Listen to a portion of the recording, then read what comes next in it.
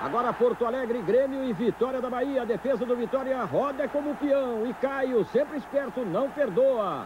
Veja de novo o gol do Caio, décimo dele como artilheiro do campeonato. Final Grêmio 1, Vitória da Bahia 1, 0, aliás.